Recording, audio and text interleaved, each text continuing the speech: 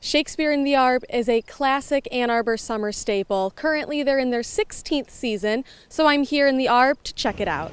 And we will sit upon the rocks, seeing the shepherds feed their flocks by shallow river. I am the artistic director of Shakespeare in the Arb. It was my vision that started this project uh, back in 2001. Your oaths are passed, and now subscribe your name. What we do is we spend our first week of rehearsal just trying things, just wandering around in the Arb and trying things. Woman, within the term of three years, he shall endure I found Shakespeare in the Arb last summer through a friend of mine who had been doing it for several years, and I just didn't have a place I needed to be in the summer and thought, what better to do than come outside? You shall be welcome, madam, to my court. Uh, I feel like the audience is so much more involved in the show, and they get to enter this world.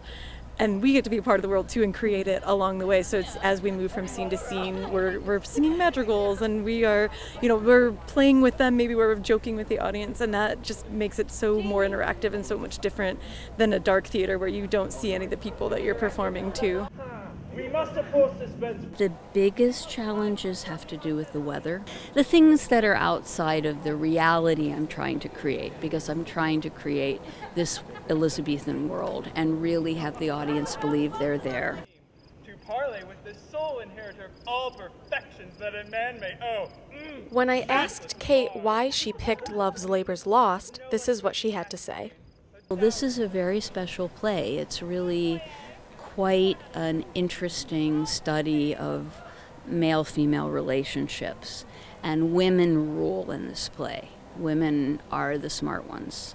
And so that's good. I have a lot of talented women. Um, I try to pick plays that are going to give women a lot of opportunities, which is not easy in Shakespeare because he didn't have women. Um, but this play has um, some very strong women's roles. Very madcap, Lord. Not a word with him but a jest. Every jest but a word. Love's Labor's Lost is only running for the month of June, so come on down and check it out. For WOLV TV in Ann Arbor, I'm Jess Knight.